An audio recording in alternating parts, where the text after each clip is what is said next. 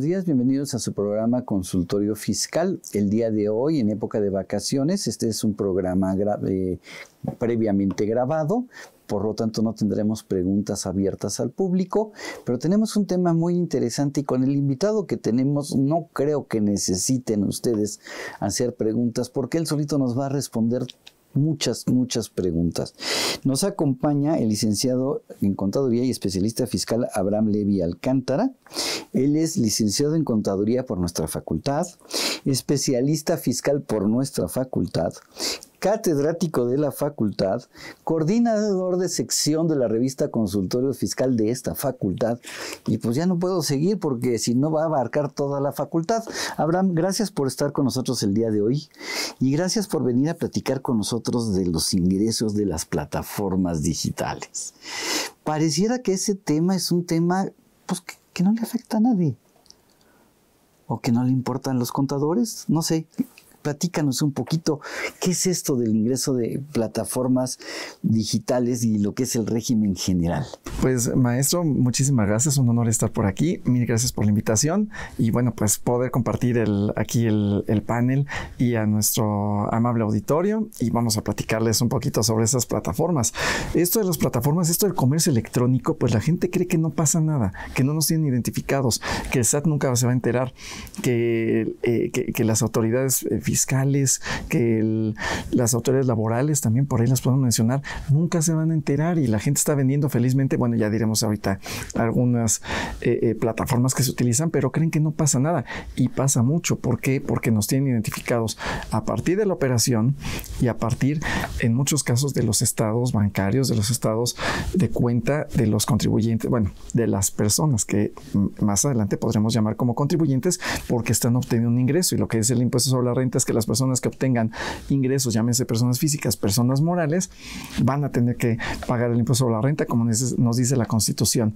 Entonces, sí hay que poner mucha atención en todas las operaciones que estamos realizando, porque, como les decía, ya nos tienen plaqueados, ya nos tienen identificados, ya la autoridad podría incluso eh, a partir del precio, ya tener un precio cierto y bueno, pues ya, ya lo conoce, ya sabe cuál es el ingreso que estoy aspirando. A ver, a ver ok, eh, interesante el comentario, pero yo quisiera preguntarte, ¿qué es eso de plataformas digitales? Eso de plataformas digitales, en los últimos años, maestro, se han inventado algunos nuevos nombrecitos. sí, y esto de plataformas digitales, yo cuando lo vi por primera vez me imaginé, fíjate, fíjate lo que es la mente. Yo me ubiqué en 1968. ¿Por qué en 1968? Porque tengo muy presente que me llevó mi papá al Estadio Olímpico este, a la inauguración de las Olimpiadas. Casi en brazos. No, tenía yo siete años, estaba yo en la primaria, seis o siete años pero algo que tengo muy presente, pues es la plataforma donde se para el primero, el segundo y el tercer lugar. Y, le pregunté a mi papá qué era eso y me dijo, es una plataforma para premiación. Y se quedó en mi mente toda la vida. Y ahora me dicen las plataformas digitales y entonces ya no entendí. ¿Cómo puede haber una plataforma digital? Más o menos como lo que le... Eso nunca lo había contado, ¿eh? Claro, nunca lo había contado, pero siempre en mi mente cuando vi la primera vez plataformas dije, y digitales, wow, qué interesante. Pues fíjese que retomando lo que le decía su papá, eh, precisamente es un, templete, una, un, montaje donde las personas de manera virtual, de manera digital, van a poder ofertar sus productos. Alguien diseña ese, esa, e, e, ese software o diseña esa, ese alojamiento y lo, pone muy bonito. Yo puedo subir mis fotografías, las características. Entonces, por eso la autoridad le llamó plataforma, porque eh, puedo eh, eh, montarlo y ya. Es una base para de ahí prestar un servicio. bueno, principalmente prestar un servicio, que es lo bueno.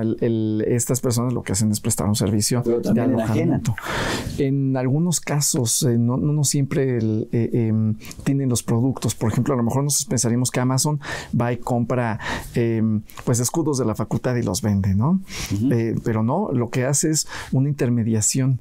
Coloca al oferente, coloca al, al cliente entre, le dice, a ver, yo soy una plataforma que concentra eh, micrófonos, audífonos, extinguidores, ley. Tipo Mercado Libre es una plataforma digital. Así es, Amazon, Alibaba, Mercado Libre. En este caso para la compra y venta de productos. Si hablamos de, porque nos va dividiendo también el impuesto a la renta, ya nos va diciendo, o sea, tienes tu plataforma y luego la vas dividiendo, porque no es lo mismo vender una cosa o prestar algún otro tipo de, servicio, ¿no? Por ejemplo, eh, hospedaje, ¿no? Los de alojamiento, que esa es otra historia. Entonces, tenemos esa división que realiza la autoridad para, primero para los ingresos. Luego, eh, eh, al día de hoy que tenemos cuatro secciones también nuestros amigos televidentes, bueno, pues que, recuerden que tenemos en personas físicas cuatro secciones donde, eh, aunque una está derogada, pero que algunas personas siguen coexistiendo, los del régimen de, incorporación fiscal. Y en, el, eh, en lo que es la, una de esas secciones, eh, tenemos estas plataformas y después segregadas por lo que hacen, si prestan servicios o prestan este servicio de enajenación de bienes, donde yo tengo, le decía, pues tengo relojes, tengo las, las mancuernillas, tengo y vendo esos productos. Entonces yo puedo, eh, se está refiriendo a que si yo soy una empresa, a ver si te entendí, si yo soy una persona física o una persona moral que tengo productos y que para venderlos eh, los oferto a través de esa plataforma llamada Mercado Libre. Esa sería una plataforma digital y estaría yo vendiendo productos a través de, de, plataformas digitales? Es correcto. Porque hay que tener en cuenta que hay eh, contribuyentes, igual personas físicas o personas morales, que en su momento ya han diseñado sus, eh, sus propias plataformas, han diseñado, bueno, para no entrar en, conflicto, han diseñado sus páginas web y en sus páginas web ponen un carrito de, de compras. Entonces usted se acerca y compra el producto directamente con la empresa. Entonces, en este sentido, no se va a entender que está usted tributando en una plataforma plataforma digital. Entonces, ahora sí que, como, como dicen por ahí, hasta la basura se separa. sí, claro. Tenemos, eh, bueno, en este caso de, las ventas, eh, tengo a los que su prestación de servicio corresponde en, en, ser un intermediario y, colocar los productos eh, a terceros. Ah, y yo, yo tengo, a lo mejor yo presto mis servicios en línea tengo mi, página y entonces pongo mi carrito y en mi carrito les pongo una asesoría. Y bueno, pues ustedes la... A ver, un, ejemplo que se me ocurre de esto podría ser la librería del Colegio de Contadores Públicos o los cursos del Colegio de Contadores Públicos de México, donde tú entras al portal del Colegio de Contadores, te venden productos que están en la librería, te venden cursos que ellos van a hacer, a lo mejor eh, compras eh, participación en el, en el, en el Congreso de la contaduría y entonces tienes el carrito y lo vas agregando al carrito y al final pues te dice pagar. Y entonces eso no es una plataforma, ¿y no estoy vendiendo por plataforma digital? Estoy vendiendo por una plataforma digital, pero no de las que califica la ley del impuesto a la renta. Ah. Sí, porque nuestros amigos informáticos es lo que dicen, pues es una plataforma. Sí, pero, eh, eh, hay unas que soy yo mismo. Entonces, cuando yo soy el operador o contrato a alguien que me la diseñe y yo soy el que recibe directo, yo lo opero, yo la controlo, yo recibo. Yo vendo mis productos, el dinero que se recibe en mi cuenta no cae en este régimen de plataformas digitales. Así es porque no hay una intermediación, maestro. Eso es lo importante. Qué interesante. Ahora, mira, necesitaba que vinieras para que por favor me explicaras, porque yo seguía con la plataforma de 1968 y estamos en el 2022. Creo que ya pasaron algunos, algunos años. la otra plataforma sigue existiendo. ¿No? La otra plataforma sigue existiendo y cada vez que hay Olimpiadas y cada vez que hay un gran premio, se ponen en la misma plataforma. Eso sigue existiendo. Sí, sí, maestro. Y ahora con esa particularidad y, con esa segregación, porque nuestros contribuyentes o nuestros amigos eh, eh, del auditorio que tienen sus negocios, bueno, pues tienen su carrito de compras eh, y puede ser para, ahora sí, ya puede ser para prestación de servicios, para enajenación de bienes, para incluso para transporte, que también seguramente por ahí vamos a tener algunas, algunos comentarios. Ah, ok, ya me está empezando, ya estoy empezando a captar. Ya. Si yo utilizo una de esas herramientas, llámese Uber, Didi, Cabify, este, no sé cuántas más haya, pero bueno, ese tipo de cosas. Si yo soy dueño de mi carro Este, y presto un servicio no de taxi con licencia de taxi, placas de taxi, sino voy y los y ofrezco mis servicios a través de esa plataforma voy a tributar en este régimen. Es correcto, porque hay una intermediación. O sea, yo me acerco con Uber y Uber me registra, me pide los datos de, del seguro, los datos del conductor, me saca hasta la fotografía y lo demás para que no haya cuestiones de inseguridad y listo. Entonces, cuando yo contrato la, en la aplicación, eh, lo que hace, sobre todo cuando tengo cargo con tarjeta, ese dinero cae a una cuenta de, del operador, o sea, no, del operador del vehículo, sino a, vamos a decirlo, a la cuenta de Cabify, a la cuenta de Didi, a la cuenta de Uber, cae a su cuenta, ellos retiran su comisión eh, y, bueno, retiran a lo mejor alguna otra cosa porque también tienen ahí la cuestión del de, responsable solidario al día de hoy, aunque sean operadores que estén en, en, otros lados, en otros países, tienen que ahora registrarse, que esa es otra historia. Entonces, eh, retiran la comisión, retiran la, parte que, que, como sujetos obligados tienen que retenerme a mí como el operador, ahora sí, del vehículo, dueño del vehículo, y me entregan una cantidad, me depositan lo que sobró. Y, o sea, me van a retirar la comisión que ellos se quedan, me van a retirar lo que es el seguro de responsabilidad, me van a retirar el impuesto sobre la renta. Sí, me van a hacer una retención. ¿El IVA? Podrían hacerme una retención, depende si me registro o no. Me... Bueno, eh, en algunas plataformas lo que hacen es que me dicen, para que ingreses conmigo, se curan en salud y me piden los datos fiscales para que, bueno, pues puedan eh, eh, no hacerme una retención tan grande, porque de repente, ¿qué pasa? Por ejemplo, nuestros amigos que están en, bueno, diciendo algunas plataformas, Mercado Libre, me dice, pues 20%, no te registres, pero te retengo el 20%. Y aparte la comisión. A ver, pero a ver, espérame tantito. Mercado Libre no es una empresa mexicana, ¿o sí? Eh, pues, em, pues es residente en territorio nacional. Y si no lo fuera, tiene que registrarse, tiene que acercarse con el satánico y decirle. Ay, mira, que, a ver, eh, creo, creo que Mercado Libre, no me hagas mucho caso, y por favor, eh, lo que voy a decir, no, los, no estoy seguro, y a lo mejor voy a decir una barbaridad. supongamos que Mercado Libre es una empresa argentina. ¿Sí? Tiene unas oficinas en México donde realice actividades empresariales. Los obligaron y tienen que registrarse, tienen que abrir. Eh, fue bastante peculiar esto hace dos años por ahí, que tuvieron que eh, eh, abrir una oficina, un establecimiento permanente para que tuvieran aquí de alguna forma la residencia, que pudieran emitirse FDIs, que pudieran recibirlos para que fueran retenedores, porque ¿qué pasaba? Si operan virtualmente y todo es en digital, ¿qué iba a pasar? Eh, eh, ahora sí que como el escobro. Pues sí, pero Mercado Libre por lo menos tiene una sucursal donde recibe los paquetes y los distribuye. Pero Uber, Uber, no sé, a lo mejor creo que es inglesa, no tengo idea, ¿eh? Estoy, estoy hablando... Pero no es de México. Pero no es una empresa mexicana. Yo, yo puedo viajar a Nueva York y utilizo el Uber, y me da el mismo servicio que me lo... Ojalá pudiera ir a Nueva York, este, pero bueno, eh, voy a, a, Canadá y a lo mejor también me encuentro Uber y en Inglaterra seguramente me va a ver Uber, este, o voy a Italia y me, va, y me voy a ir de espaldas porque pues todos los Uber son Lamborghinis, ¿no? Este, Para más cómodo. sí, alguna cosa así.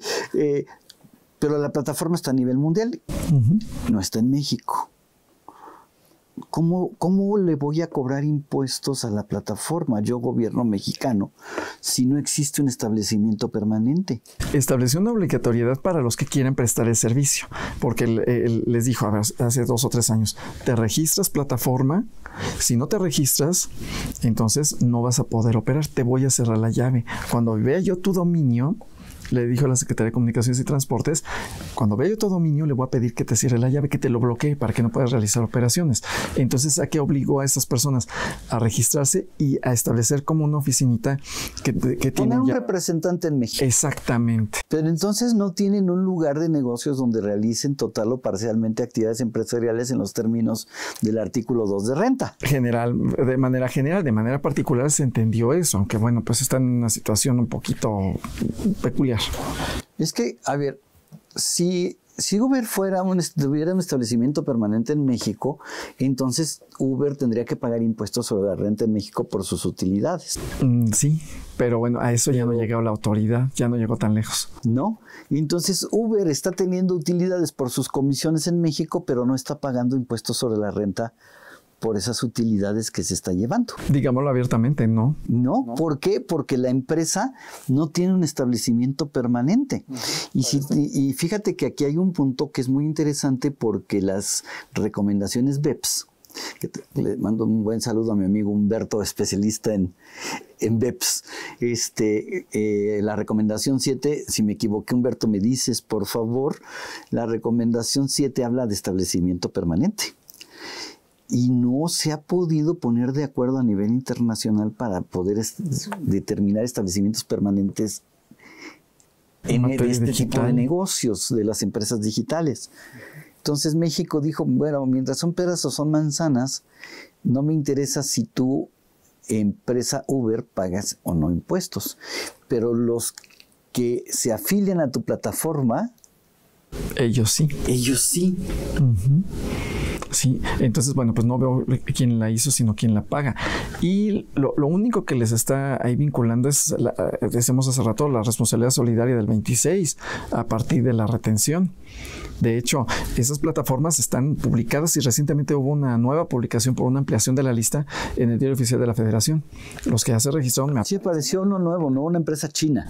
Sí. Que vende juegos, creo. Eh, la de Mario Bros, que, bueno, ahí el nombrecito es bastante particular, le decía maestro. Así se llama ahí, está publicado Moco Entertainment. ok. Entonces, si estás jugando Mario Bros, estás contratando con Moco Entertainment. Exactamente, estoy jugando con, los, del, con los del Moco. Ahora sí ya te puedes, ya, puedes decir que te estás agarrando del moco. Literalmente. Entonces, bueno, pues ahí está. Ahí está publicado en el diario. Está publicado en el diario oficial. Sí, pues son sus nombres allá, quién sabe qué signifique. Sí, pero cuando se lee, cuando se lee en México, mira, así como lo estás diciendo, déjame platicarte una anécdota de mi hija. Estuvo en un campamento y en ese campamento había niños de la misma edad de diferentes países. Y había unos niños que venían de Indonesia. Eh, el idioma de ellos se llama Bahasa. No les gusta que les digas que su idioma es indonés. No, su idioma es Bahasa. Y entonces dividieron el campamento mitad blancos y mitad rojos. Pero, o sea, si los Estados Unidos dividían, tenían que decir red, blue, red, blue, red, blue. Si eran los mexicanos, tenían que decir blanco, rojo, blanco, rojo, blanco, rojo. Pero los eh, los de Indonesia, los indoneses en Bajasa, los fueron dividiendo en, rojos y blancos y fueron diciendo Merá putig, Merá putig, Merá putig. Y llegaron con las dos niñas mexicanas y les dijeron Merá y a los niños mexicanos les dijeron putig. Y los cuatro niños se soltaron la carcajada este, y después preguntaron que por qué, porque los mexicanos dijeron no, nosotros no somos putig. O sea, quién sabe qué significa moco en China. Quién sabe. Pero aquí significa otra cosa. Exacto. Nada es verdad, nada es mentira, todo según el color del cristal con que se mira. así es. Definitivamente. Y así sucedió en ese campamento, ¿no? Entonces hay que tener mucho cuidado. Pero bueno, vas a poder contratar o rentar o descargar un un videojuego de, esta empresa. Sí, y, de, y bueno, y luego todos los operadores, porque tenemos los de prestador, eh, ahorita nos decía, los de Uber, de Cabify, de Didi para los eh, transportistas. Luego tenemos Alibaba, Amazon, Mercado Libre, entre otras, para, eh, para enajenación de bienes. Oye, y si yo soy, yo tengo mi bicicleta o tengo mi moto y voy y les pido una de esas este, cosas que, que, que esas andan cargando, que se llama que Rappi, que se llama eh, Uber Eats, este, Didi Food. También. También. O sea, también voy a tener que estar, me van a estar reteniendo impuesto, además de su comisión y además de la responsabilidad. Ah, y hay que ver dónde lo hago, porque no olvidemos los impuestos locales, queridos amigos. Pudiera haber algo. pudiera haber algo que revisar o registrarme o algo. En la Ciudad de México creo que hay un impuesto al respecto, ¿no? Hay algo por ahí más. entonces me van a, van a tendrían que retenerme un impuesto federal y un impuesto local. Y aparte, si traigo mi motocicleta, tengo que ver qué licencia de manejo tengo. Si tengo una A, una B o una A1 o B1 en la Ciudad de México o en el lugar donde estén. Por ejemplo, si están en Tijuana, tienen que ver si les toca la BCDOE y esa les, la pueden utilizar para andar en, en la motito repartiendo las, las pizzas. O sea, también tienen que ver eso y pagar sus derechos para que tengan su, su, eh, su, licencia de conducir estas personas. Entonces, la regularización pues va mucho más amplia y la autoridad me identifica a partir del ingreso que tengo vía la plataforma. Y ya no puedo decir, no, no tuve ingreso. O está mi estado de cuenta, o está mi registro, o está el registro de la prestación de servicio. Ok, entonces, si yo voy, si tú tienes un negocio que está vendiendo comida yucateca y está registrado en la plataforma. Y yo llego en mi moto y, me, digo, vengo por este pedido, por lo que yo me paguen a mí, me van a retener. Ok. ¿Y lo que tú vendes? Por lo que, ah, eh, bueno, ahí en ese caso, eh, no, eh, también, también tendría que ver la plataforma, porque utiliza la plataforma para el contacto. Tú ofertaste tu producto a través de la plataforma y entonces también te van a retener. Así es. Buen negocio. Entonces el fisco, si, si, yo estoy en mi casa y se me antoja algo, pues lo pido por cualquier... Si, si hablo a la pizzería esa de las 30 minutos, no porque tienen su propio servicio. Y además no lo hice por plataforma, lo hice por, por teléfono. O a lo mejor entré a su, a su portal, pero es un portal de ellos. Sí. Pero si es un negocio que vende pizzas, que no es esa cadena que tiene sus repartidores, sino que es una pizzería local, que por cierto son mejores pizzas que cualquiera de las, de las marcas, eh, y les, no, no, se tienen un saborcito diferente, este, y están en cualquiera de estas cadenas, eh, a, la, a, la, empresa que ofreció el producto a través de la plataforma le van a cobrar un impuesto, uh -huh. y a mí que lo voy a llevar, me van a cobrar otro impuesto. Y aparte la comisión. La comisión por el contacto para uno y la comisión por el contacto para el otro. O sea, para el repartidor y para el o sea, que ofrece yo estoy comprando una pizza en una pizzería que no es la que tiene su propio repartidor en el precio que me están cargando, me están cargando un precio de un servicio porque le van a cobrar una comisión a quien vende la pizza, le, eh, le van a pagar a él la pizza, pero le van a descontar una comisión y le van a descontar un impuesto. Yo que voy a ser el repartidor, me van a pagar por el servicio, pero me van a descontar una comisión, me van a descontar mi seguro de responsabilidad y me van a descontar mi impuesto. Así es. Entonces, amigos, ¿a qué les invitamos? A que revisen la lista de precios, porque a veces que a lo mejor un producto en ventanilla me cuesta 150 pesos y cuando me lo presentan cuesta 240 por todas las comisiones, impuestos y retenciones y demás. Exacto. A lo mejor esto me, me, sale, me sale más barato agarrar este, y salir caminando o ir en mi carro o en mi bicicleta haciendo ejercicio para ir por la pizza. Este. Así, mira, voy en mi bicicleta, bajo calorías, llego, me, como, me regreso, bajo más calorías y con la pizza ya no me siento culpable. Exacto, sí. y, y eh, además hasta le alcanza para que compre sus aguas negras del imperialismo yanqui y eh, bajas en calorías y ya. Y ya. Ya, sin problema. Pero además, pues esa gente tiene que vivir de algo. No, sí, sí, sí claro. un servicio, sí. pero tiene que pagar impuestos. Así es. Entonces, ojo, porque he visto algunas gentes que dicen, es que esta gente este, se dedica a robar. No, no están robando, están trabajando. Están un servicio. Están prestando un servicio. Una comodidad, ¿no? Porque estoy en mi casa no, viendo... Estoy en mi casa, entro en mi celular, entro en mi computadora, mi tableta, levanto el teléfono, hablo y pido, hago el pedido. Y me está prestando ese servicio de que yo no, de que yo esté como pachá en mi casa, este, viendo el fútbol americano, o el fútbol, o el tenis, lo que me guste ver. Y ya nada más llega, le pago y se acabó. Y estoy utilizando otra plataforma. Ahorita hablamos a lo mejor la de Netflix, ¿no? También ahí. Ah. Entonces para el, el, sistema de descargas, que también tiene ahí sus cuestiones. Oye, y si utilizo, por ahí hay una plataforma para hacer citas. El, el Tinder creo que se llama. Creo que sí. Creo que sí. No sé, le han platicado más. Sí, me han platicado. Me han platicado que hay este... Pues para hacer match y para, para conocer match gente. Y conocer gente. Sí. sí y, y, también te preguntan, a ver, ¿qué eres? Eres y qué buscas? ok.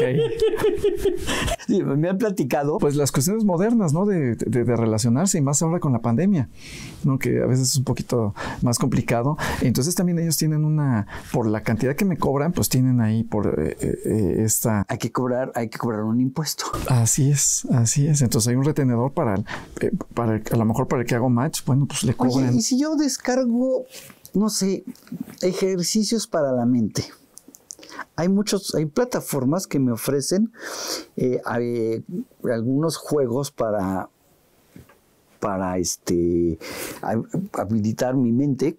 Hay algunos que son gratis y otros que sí te cobran. O los libros. También, también pagan impuesto. Oye, pero ¿y pagarán IVA? Ah, bueno, ahí siguen la suerte del principal. Entonces, si en su momento es una actividad de, de, de, tasa diferente al 16, que podría ser algo de tasa cero, pues siguen la, la misma tendencia. O en este caso, si no son eh, pues objeto de la ley, entonces eh, esa parte sí no la. A ver. Aunque habría que identificar, maestro, si eh, una cosa es el audiolibro, me venden el libro o la prestación del servicio.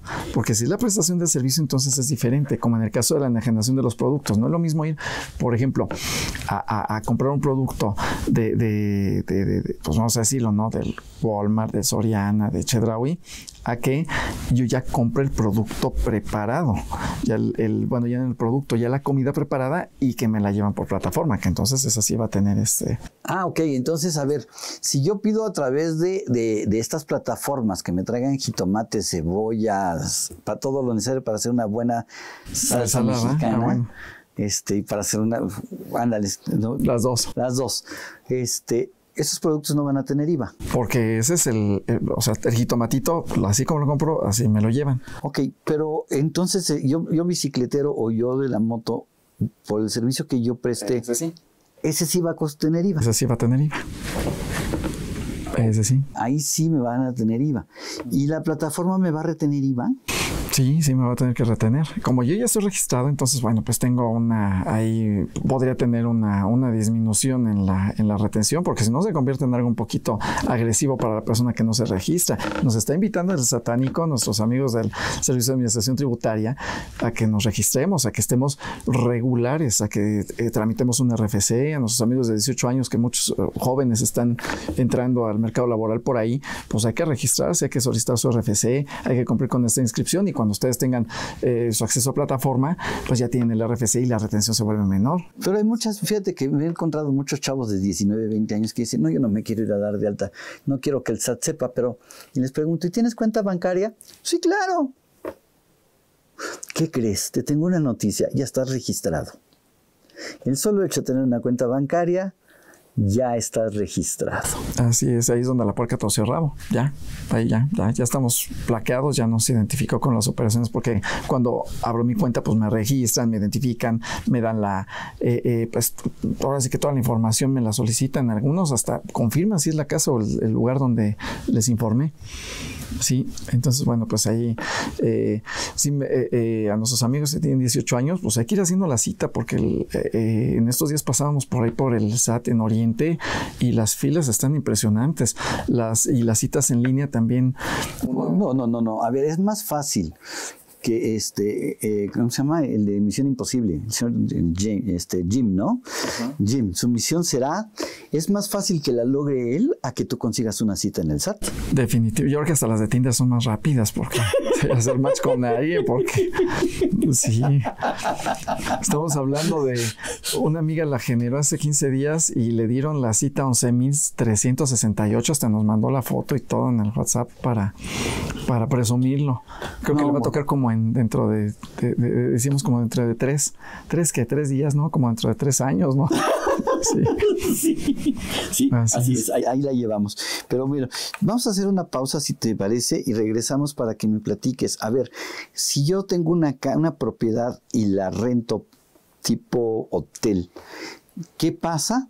Y empezar a que nos platiques cuánto me van a retener de impuestos.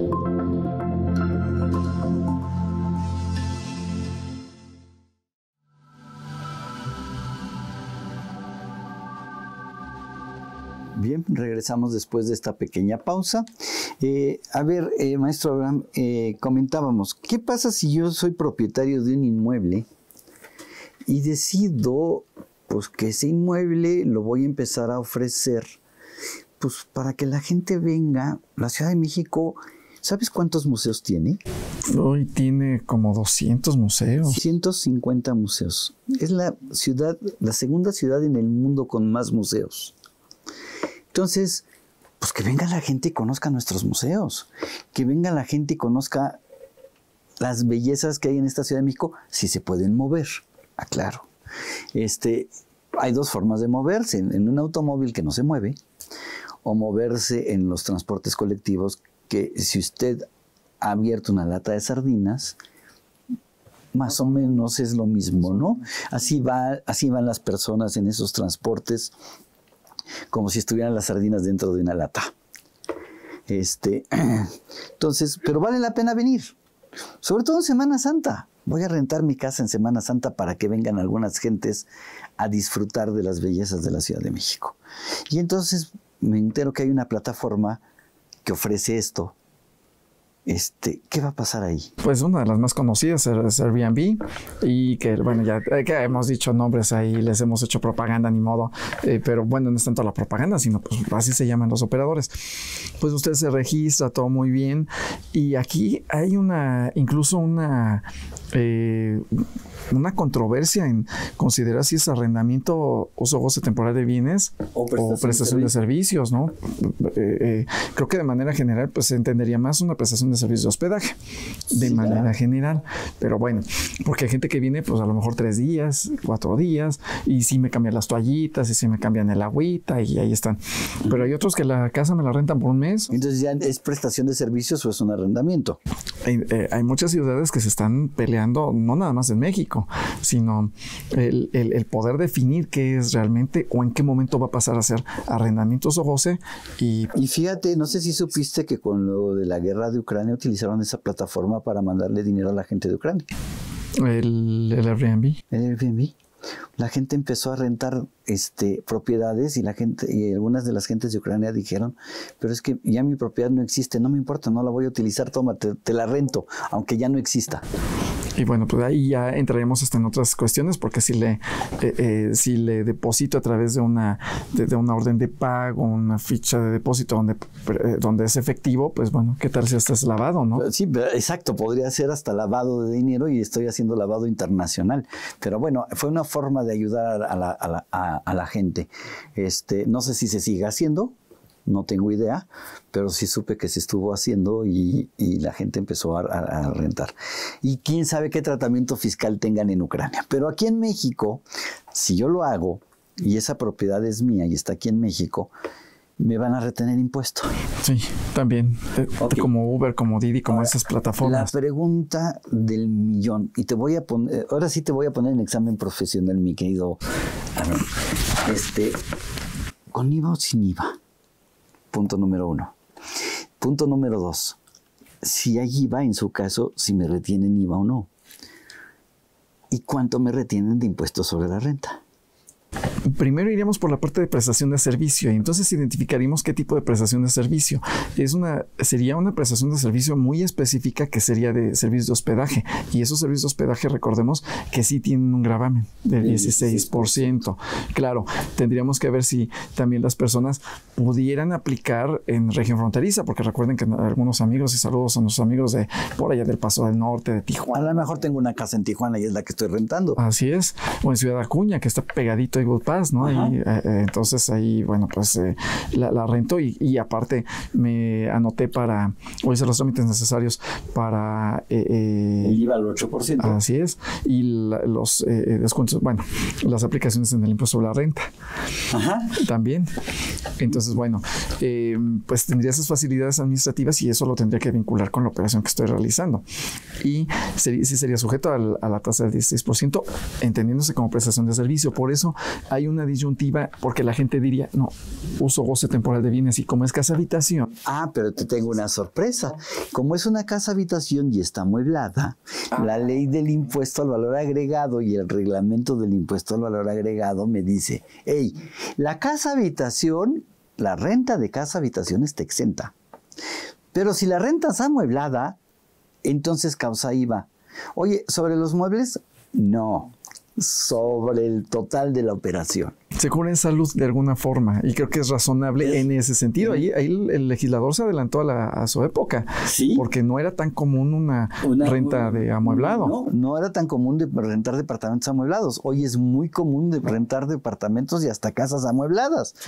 Y entonces no necesitaron hacer nada más que decir, retenle, ¿cuánto le retienen de IVA y cuánto le retienen de impuestos sobre la renta? Bueno, aquí tendríamos que revisar en el caso de la persona física, que, y también aprovechamos para mencionar los que tienen en el caso de, de enajenación de bienes y los demás, ya que estamos en el camino y creo que por ahí no lo habíamos mencionado. En el caso de enajenación de, de bienes, nos habla el artículo 113 en su letra A, que en enajenación de bienes y prestación de servicios la retención es de uno, un 1%. Ok. Uno. O sea, tú vendes antojitos mexicanos y, los, y, estás anunciado para cualquiera de las plataformas. La plataforma por la que te pidan, si tú vendiste unas, unas enchiladas este, potosinas, ay, ya se me tojaron, maestro. Este, y te pidieron 10 órdenes, este, pues del valor total de la operación antes de IVA, te van a retener el 1% a ti. Por el servicio con el que, yo voy a hacer de llevar las enchiladas de tu negocio a casa de Nancy Audelo, este, que ella fue quien pidió las 10 órdenes de enchiladas potosinas, me van a pagar a mí, invento, 50 pesos. ¿Cuánto me van a... 50 pesos masiva. ¿Cuánto me van a retener a mí? Ah, bueno, la retención del 1%. No, a mí que, no, la retención del 1% es para ti que tú vendiste.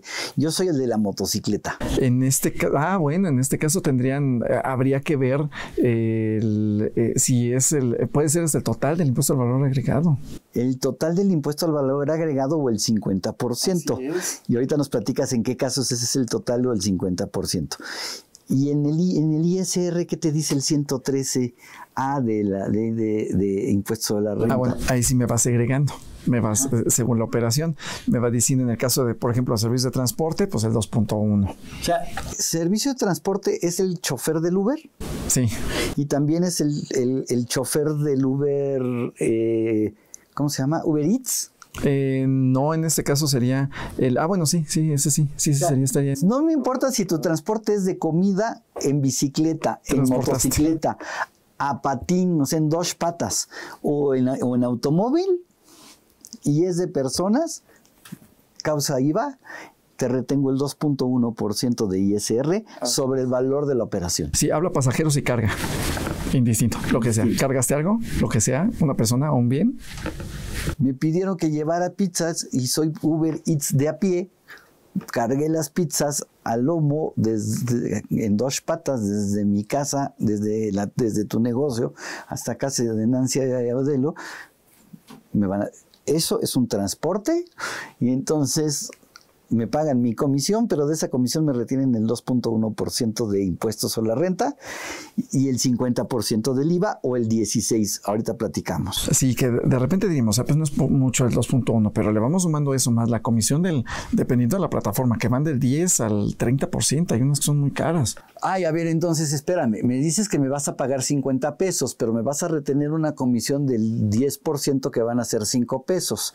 Yo voy a cobrar 50 masiva que van a ser 58, pero tú me vas a cobrar 5, me parezco a Cantinflas, 5 más 5,80, pero sobre los 50 me vas a retener el 1%, este, que son otros 50 centavos, y además me vas a cobrar mi seguro de responsabilidad civil. ¿Y para qué trabajo? Pues por eso, amigos, revisen, eh, porque hay gente que, y no es por, eh, eh, bueno, yo, los invito a que revisen, por ejemplo, en el caso del, vehículo, dicen, vamos a entrarle y vamos a trabajar y se endrogan, solicitan crédito, compran un carro nuevo y al final del día necesitan el carro 24-7-365 y pues no hay operadores de ese nivel. O sea, el carro puede estar, sí, tres eh, eh, en ese periodo, pero una persona, el operador, es, no. No, de hecho las plataformas creo que te dicen que nada más puedes trabajar 12 horas al día. Después de 12 horas te desactivan. Así es. Pero ahí se le puede piratear, o sea, usted se puede pasar a otra. El chiste es tener el carro porque eh, hay que pagar la deuda. Ah, oye, me estás dando una idea. A ver, este, ya estoy planeando fiscalmente, a ver. A ver si puedo, si me dejas. Resulta que yo vivo en el mismo fraccionamiento que vives tú. Y tú sabes que yo pues presto el servicio de Uber. Y me dices, oye Salvador, yo no tengo carro, no me gusta manejar. Este, ¿podrías llevarme de lunes a viernes a mi trabajo? Otro vecino le dices que tengo el servicio y me dice, oye, este, ¿me puedes llevar al aeropuerto? Este, y te digo, pues sí, nada más que este, eh, ¿lo quieres por Uber o este, o, aquí entre nos? No, pues aquí entre nos. Te doy mi tarjetita. Te doy mi tarjetita y entonces tú me llamas y yo te presto el servicio. Este, ese servicio lo tengo que declarar. Sí, porque obtengo un ingreso. Definitivamente. La, primera respuesta es sí. Pero si me pagas con mi tarjeta, eh, si te me pagas con tu tarjeta, entraría por la plataforma. No siempre. A menos de que yo traiga una de esas. Un clip. Un clip o, hay otros. No terminal, punto de venta. El chiste es que es una TPB y va directo a mi cuenta. Ya no utilizo plataforma. Y ya no utilizo plataforma. Entonces ahí habría que evaluar si una parte va por plataforma y otra parte va a otro régimen. Se podría dar la combinación. Entonces podría yo tener eh, régimen general y plataforma. Así es, sobre todo por el efecto de las deducciones ahorita que estamos hablando ya en esta, en el planteamiento de una estrategia, habría que ver cuántos gastos tengo. Yo, yo pensé que esos no me los iba a cachar la autoridad. ¿Y los ingresos? Sí. No, pues de todo se entera. A ver, todo lo que hagan amigos por cuentas bancarias, todo se va a enterar. Todo se va a enterar. Todo lo sabe. O sea, es de las primeras líneas de defensa. Ya sabemos que tenemos el CFDI que ya aquí yo te tengo que dar tu, yo te tengo que expedir un CFDI. Si tú no lo quieres, lo tendría que expedir en un CFDI global de público. Público en general, sin lugar a dudas, pero lo tengo que expedir. O sea, soy sujeto obligado. De repente la gente dice, no, pues cómo, es como el, nuestros amigos taxistas, que de repente hay algunos que están muy alineaditos, que están en agrupaciones, que tienen un buen asesor y les dice, paga sus impuestos y me haces una factura global por día, una factura global por semana. Y ya, y pagan sus contribuciones. Muy bien, lo hacen muy bien. Incluyen lo que está en efectivo y algunos ya modernos que transferencia o por tarjeta. Perfecto. Declaran todo, está muy bien, pero hay otros que dicen, ah, pues cobro en efectivo, a ver, señora, pase la lana y listo. A, ver, este amigo, te, voy a llevar en efectivo, pero eh, hay una trazabilidad y un, rastreo por parte de la autoridad, entonces en algún momento eh, la autoridad puede llegar a saludarnos y decirnos, pues ya me debes tanto, ni siquiera preguntarme o consultarme, va a decir, aquí en tus estados de cuenta recibiste tanto. Ok, y aparte, eh, de repente algunos eh, contribuyentes pueden traer su propio clip, pueden traer su propia eh, TPB, su terminal punto de venta, y a lo mejor está en nombre de, su señora, de sus hijos, de, otra persona, entonces están involucrando a otra persona. Entonces, wow, pero entonces ahí estás dejando a otra persona en un problema de tipo fiscal, estás involucrando a una persona en un problema que no debería de ser. O sea, si el conductor es Salvador Rotter, el dueño del automóvil es Salvador Rotter, y, mi esposa no tiene un automóvil a su nombre, ¿cómo está obteniendo ella ingresos por Uber si no hay un vehículo? Esa es una cuestión. ¿Cómo factura ese servicio si no tiene las herramientas para prestarlo? Entonces podría considerarse que cae en un supuesto de venta de facturas. Si lo vemos por esa vía. El 69B de código. Así es. ¿Por qué? Porque es una persona que está realizando una actividad empresarial que no cuenta con los activos necesarios para prestar esa actividad. Y entonces no hay razón de negocio y no hay materialidad porque no tiene el coche. Y entonces a ti que estuviste pagando el servicio te hacen todas tus facturas no deducibles. Y el IVA que le pagaste a esa persona te dicen que no es acreditable. Así es.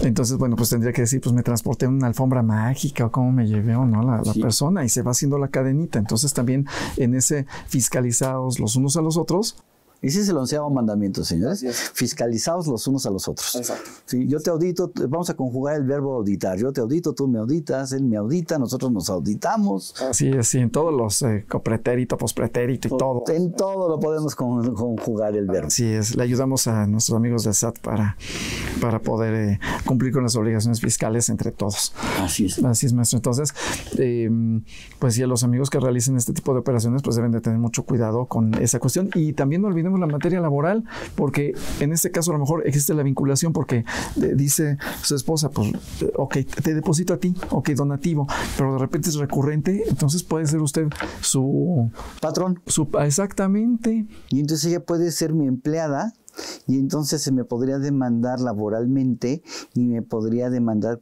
pago de cuotas de seguridad social. Así es, aguinaldo. Hasta, y amigos, hasta PTU. Y vacaciones y prima vacacional. Híjole, no, mejor no. No, no, no, no. Qué bueno que me aclaras esto porque si no me voy a meter en, en otro tipo de problemas. Pero a ver, me estás hablando de que hay unas retenciones. Esas retenciones son pagos provisionales. Ah, ahí también hay una diferencia, porque podríamos, eh, hay de dos sopas. O lo tomo como pago definitivo o lo tomo como, eh, eh, como pago provisional. Va a haber condiciones. Una de estas que nos contempla por ahí el artículo 113b, precisamente nos habla de que eh, si yo realizo estas actividades o tengo ingresos por plataformas, que si mis ingresos en el ejercicio inmediato anterior, o sea, si estamos ahorita en el 2022, mis, mis ingresos del 2021 no rebasaron 300 mil pesos, entonces se puede considerar 300 mil pesos, estás hablando como de 25 mil pesos mensuales. más o menos. Sí, 25 mil pesos mensuales. Entonces, si no rebasaron de 25 mil pesos mensuales, ¿qué, puede, ¿qué puedo hacer? Pues ya eh, lo que me retenga la plataforma y Pero en ese caso me retiene el, el 1, el 4 o el 2.1, como dijimos. ¿Qué pasaría con el IVA? Como lo tomo, como to- ejerzo esta opción, ¿me van a retener cuánto de IVA? ¿También el 50% me van a retener el IVA completo? pues me retienen todo porque le tienen que entregar a la autoridad completo. Y entonces no me puedo deducir ni acreditar ningún IVA. Y entonces el IVA de la gasolina del automóvil, Así es. sorry. Exacto. Sí, y el IVA del automóvil y el IVA de la motocicleta, No. No me lo acredito porque entré en, un, en una opción de decir, como mis ingresos no rebasaron de 300 mil pesos, es pago definitivo en el impuesto sobre la renta y me dice en el fisco, pues de una vez también en el IVA, que la plataforma te retenga todo el IVA y nos quedamos todos contentos. Así es. Pero con 25 mil pesos mensuales, con la comisión que me cobra la plataforma, con el impuesto, con... Híjole. Ya no alcanza para el contador. Ah, ¿ya también tengo que pagar contador? Pues ayuda, ¿no? Bueno, dice el SAT Alguien tiene no, que hacer la pero pues declaración alguien tiene que anual. hacerla. Ah, sí, porque ah, le tengo que enterar al fisco, eso sí. ¿Y esta declaración anual con qué la hago? ¿Con ese mismo porcentaje o con qué lo hago? El, El, el- el- el impuesto anual, si estoy ingre- obteniendo ingresos por plataforma. no, tengo que revisar el anexo 8 y me voy hasta el final del anexo 8 y voy a encontrar ahí la, la tarifa correspondiente. ¿Voy a tributar en el régimen general Pues me tendría que ir al si no es pago definitivo? pago definitivo, así es. Entonces, las retenciones del 1, del 4 y del 2.1, sí tengo que cuidar mucho mis deducciones. Claro. ¿Por qué? Porque me van a estar reteniendo sobre los ingresos, pero al final del año yo voy a decir ingresos menos deducciones. Voy a aplicar una tarifa que puede ir hasta el 35%, Del 1.92 hasta el 35. del 1.92 hasta el punto hasta el 35%, Tuvo deducciones, pues va a estar cerca del 35. y resulta que los, mis pagos provisionales fueron del 4 o del 1 Pues tiene un pequeño gran diferencial y va a tener un pequeño gran problema. y lo voy a tener que pagar en la declaración anual. Así es. Más la, adeudo del coche si se compró un Uber, más lo que deba del coche. más lo que deba del coche, más las comisiones de la plataforma, más la gasolina del coche, más los mantenimientos, más los intereses. No, pues sí tengo que trabajar. Ahora entiendo por qué tienen que trabajar 12 horas y a lo mejor se, re- se registran en dos plataformas para trabajar 12 horas en una y 12 horas en otra. Entonces sí está bastante complicado. Y bueno, pues cuidar las deducciones en todas estas plataformas, incluso nuestros amigos de la bicicleta.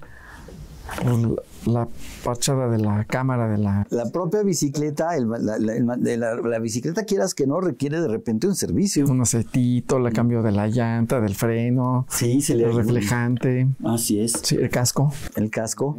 Y ahí hay un IVA y se puede deducir. pero hay que pedir la factura porque de repente van a la tienda de las bicicletas y pues les encuentran la parchada? 35 pesos, 50 pesos. Pero no tengo factura. No tengo factura. Y dicen, ahí es poquito. Pero cuando vamos juntando... Súmale, exacto. Oye, ¿y si la bicicleta me costó más de dos mil pesos? Uy, hay que pagarla con medio diferente al efectivo. O sea, hay que pagarla con tarjeta. No, sé si hay bicicletas que valgan menos de dos mil pesos, ¿verdad? No tengo idea. Hace mucho que no compro una bicicleta. Bueno, de repente hay que ver dónde la compro. Si la compro en algún lugar ahí con Nuña Señora o con nuestro amigo. Con Nuña Señora. O con Roberto Hurtado. pues si ya van y le pegan a Roberto y obtienen la bicicleta, bueno, pues ya. ya. nos han platicado que en algunos tianguis pues venden esas bicicletas que las llevan de una ciudad a otra, las repintan y las venden y las venden en 800 pesos, en mil pesos, 1500. Y no tienen factura. Por supuesto que no tienen factura. Y entonces no la puedo deducir. Así es. O en el caso del Uber me venden un carro y mucho ojo amigos, eh, de repente la factura que me entregan es de una persona física o de, un, de una SAS de una SAS o de una persona física este, de, de reciclo y me, me refacturan el carro felizmente. Entonces ahí, y que fue remarcado el coche. También eso es otra bronca. Muchísimo, muchísimo cuidado. Y me dicen, te lo voy a facturar en 10 mil, bueno, no sé, en 100 mil pesos. Mm, si quieres con IVA, lo que tú quieras. Te la facturo en lo que quieras. Y lo vas a acreditar. Y cuando revisamos la factura, pues, eh, Resulta que la factura es chafa. A veces es chafa y a veces, amigos, hay que revisarla porque podría ser genuina, pero no corresponde a los datos originarios del vehículo. Entonces hay que hacer una investigación mayor de, del carro que compran. ¿Cómo investigo eso ya para ir cerrando el tema? Uy, pues vayan al registro público vehicular o vayan a, la, revisen las placas del vehículo, vayan a la, tesorería del estado donde se adquirió y revisen que, que no tengan reportes de robo, que no. ¿Y cómo sé si la factura que me están emitiendo no es una factura que utilizaron para otra persona y me hacen a mí la factura? Eh, pues eh, eh, la verifico primero en el SAT. Verifico que me aparece con el folio fiscal, algunos lo conocen como el UUID, el UUID, entonces lo copian, lo pegan en la página del SAT y verifican el... O sea, entro al, a mi portal del, al portal del SAT en donde dice consultar facturas, tecleo mi RFC, tecleo mi contraseña, tecleo algo que es bien difícil de teclear que se llama CAPTCHA. Ah, horrible. Que todo el mundo lo sufrimos. Sean pacientes, amigos. Sean pacientes. Sean pacientes. Ya que lo, hacia el quinto intento que puedan entrar, entonces les va a decir, a ver, dame el UID. Puedes copiarlo y pegarlo si tienes el documento electrónico. Si lo tienes en PDF, hay veces que el PDF te deja copiar y pegar. Y si no, pues lo tienes que teclear, pero tienes que verificar que el tecleado esté correcto. Si esa factura fue expedida a tu nombre, va a aparecer. Porque puede haber sido un carro que se refacturó, pero hay que ver quién se refacturó, porque cuando me venden el coche dicen, no, es que las intermedias o las facturas no la tengo, pero yo te lo refacturo. Se lo refacturó Salvador Rotter, pero ¿qué crees que Salvador Rotter se lo robó? Fue con nuestro amigo Roberto Hurtado. Ajá. ¿Ese lo vendió? Sí. Para, para, para, Golpes y le hurté el coche y te lo vendo a ti, pero sí hago la factura. Exacto. Pero el coche es robado. Entonces te puedes encontrar con muchos, problemas. Señores, el estar en plataformas digitales no significa que no paguen impuesto. La plataforma no paga impuesto. No, pero retiene y está obligado. Eh, que, antes había esa situación donde eh, en el extranjero no les podía cobrar, pero ahora con esa oficina de representación, vamos a decirlo así, que les estableció SAT, pues tienen esa responsabilidad solidaria para la retención. Y ya para cerrar el tema, última pregunta: ¿qué pasa si yo, plataforma El Patito Infeliz, SADCB, eh, ubicada en España, eh, presto un servicio en México tipo Uber y tengo 100 unidades desplazándose, me registro y no pago las retenciones. Me cierran la llave. ¿Cómo que me cierran la llave? Les decía hace rato que es eh, la Secretaría de Comunicaciones y Transportes. Bueno, el SAT pasa un registro, un reporte, y ese reporte les dice a la, a la plataforma, al, al, a los concesionarios de Internet. A, a los concesionarios, eh, reporta este alojamiento digital y nos dice, este ya no, ya no, ya, ya no sirve, ¿no? Este, le cierras, le suspendes. Entonces, si yo agarro mi celular y aunque lo tenga el hosting y, pagado, abro, y abro esa plataforma. Me va a aparecer bloqueada o me va a aparecer que no tiene servicio en México. En México. Ok. ¿Qué pasaría si la Secretaría de Comunicaciones, el SAT le avisa a la Secretaría de Comunicaciones, la Secretaría de Comunicaciones les avisa a los prestadores, a los concesionarios del servicio de Internet? Y el concesionario de servicio de internet dice algo muy, muy simpático ese concesionario. A ver, ven, oblígame, perro. Como dicen nuestros alumnos al día de hoy. Sí. Pues oblígame, va a ser, ok, entonces tú eres responsable solidario. Como es tu amigo, es tu cuate, pues carga el muerto con él. Y además les van a poner unas multas que pueden ir hasta que creo que los 5 millones de pesos. Así es. Así es. Pero los 5 millones de pesos son por cada día que no esté cerrada la aplicación. Así es. Entonces, si tú eres un concesionario de servicios de Internet y te avisaron que le cierres la llave a la empresa española El Patito Infeliz y no le cierras la llave, eh, por cada día que no cierres la llave son 5 millones de pesos y además te puedo decir, mira, esta empresa debe tanto de impuestos. Como no los está no me los está pagando, págamelos con recargos de actualización. Exactamente. Y te puedo retirar o te puedo cerrar la llave a ti como... Y te puedo cerrar a ti la llave como concesionario. Así es. No, pues sí le van a cerrar la llave. ahora sí, que si te vienen a contar cositas malas de mí, manda a todos a volar y diles que yo sí fui. Yo sí fui, claro, claro, maestro, sí, definitivamente. Sí, eh, en, plataformas nos tiene eh, amarrados, nos tiene eh, bien fiscalizados la autoridad. Incluso hay unas plataformas, por ejemplo, si vemos el caso del, del bueno, lo decimos así en nuestros amigos, del marketplace, pues suben y bajan y quedan y ahí queda la información.